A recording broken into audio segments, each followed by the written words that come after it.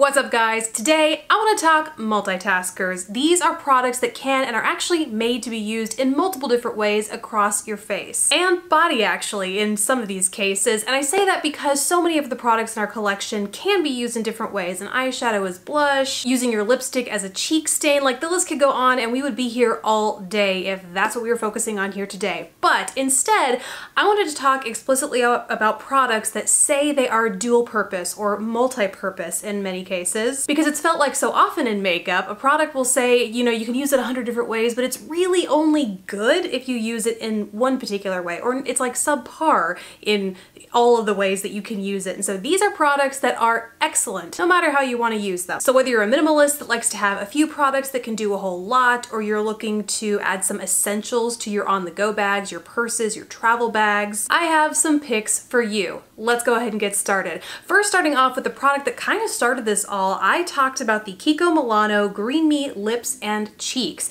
These are chubby little pencils that you can use, I mean, as the name suggests, on both your lips and cheeks. This is a product that does both so well. So you apply it to your lips and it gives you an incredibly opaque pigmentation with just one swipe, a really healthy, balmy feel, like a substantial and moisturizing feel to the lips, dries down a little bit while still leaving a balmy sheen. And yet, when you use it on your cheeks, or at least when I have, and over the bases that I have used it on, it really melts in flawlessly. And while it doesn't dry down to a total powder finish, it doesn't stay sticky or tacky like a lot of dual purpose lip and cheek products can, especially one with like a healthy, glowy, balmy finish. You would think this would kind of sit on top of the cheek area or mess up your makeup as you're applying it, but not at all. It's not waxy. It's just like a little bit thicker and more emollient so you get the great pigmentation across lips and cheeks but you're not gonna have to worry about like it feeling heavy or disturbing your makeup underneath. This is just a product that you can actually count on using on both your lips and cheeks and not looking like a hot mess any which way. While I'm talking about pencils, let's cover a few more. First starting with the Makeup Forever Artist Color Pencils.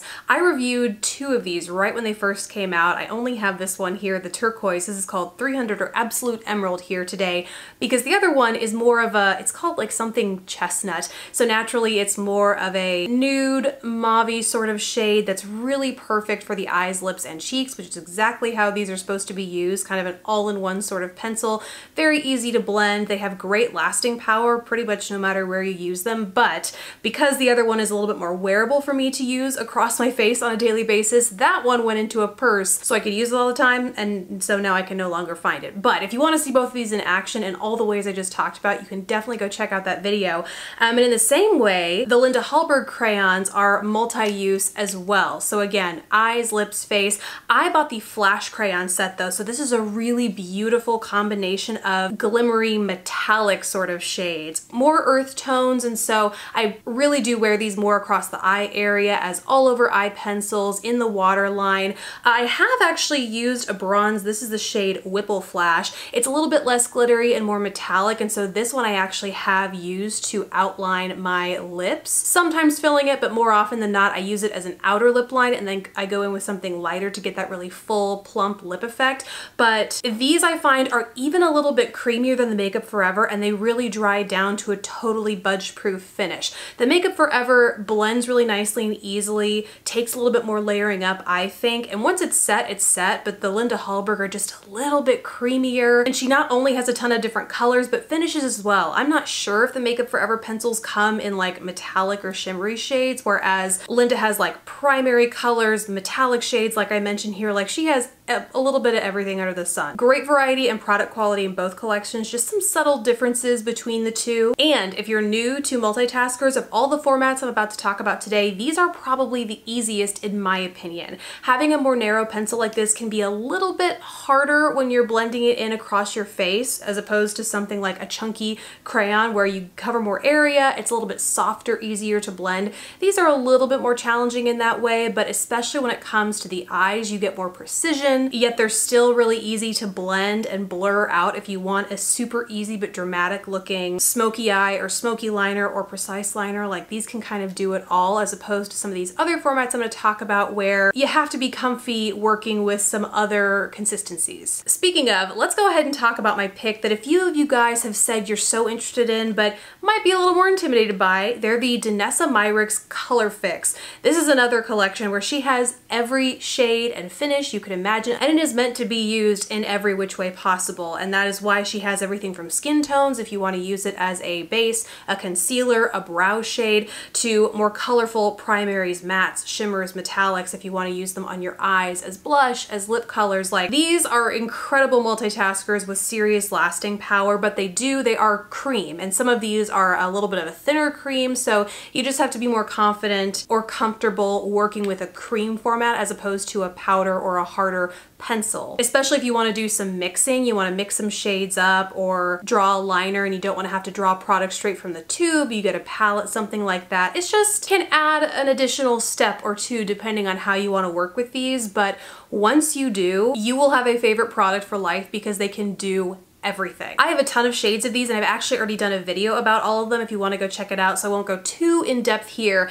The other one I wanted to mention really quickly that won't be for everyone but it's a product that I personally love so I think it's worth mentioning is from the same Color Fix line but these are the glazes. Now these are less budge proof naturally because they're basically glosses but they're glosses that are safe for the lips, uh, the face, the eyes so I really love using these for creating a beautiful glossy eye that actually stays put, which I know sounds very weird, and of course it's not transfer proof when you put a layer of this over top, but I've tried a couple of different eye bases because glossy eyes have, you know, been on trend for years now, but I've yet to encounter one that actually, that doesn't crease the second that you actually apply it. Whether you're wearing it by itself or over another product, like every single one would just sink into the lines in my eyes except for these.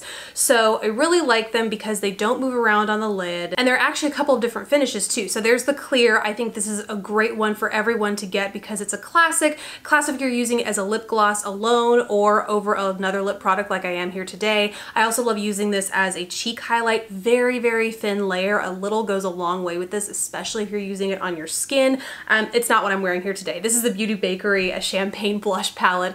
And then again, just a really great basic sheen across the lids if you're interested in it. Um, however, she also has some glittery finishes as well. One is Kaleidoscope. This has kind of multicolored glitter in it. And the other is called Infinity, which has a black milky tint to it. And then again with those multicolored shimmers in it, which is super fun and a little bit grungy. So really love all of these. Again, I think these are going to be less for everyone just because not everyone's going to be into a glossy lid. But if we're talking about multitaskers, I can't leave them out. And now for my last pick, the Lancome Le Monochromatique collection. I most recently talked talked about these my Sephora VIB sale recommendations video, but then it also showed how to use them in a favorite like heat-proof, sweat-proof cream makeup tutorial. These are seriously budge-proof, and once again, you can use them everywhere, eyes, lips, face. The three shades that I have are a la mode, and it not only makes a beautiful eyeshadow, but depending on your skin tone, a really nice glowy bronzer as well. And I didn't think that it would be well suited for my skin tone, but I actually tried it the other other day and it's pretty nice as a bronzer. Use a very light hand. These are super, super pigmented, especially with some of the other shades I'm gonna talk about. But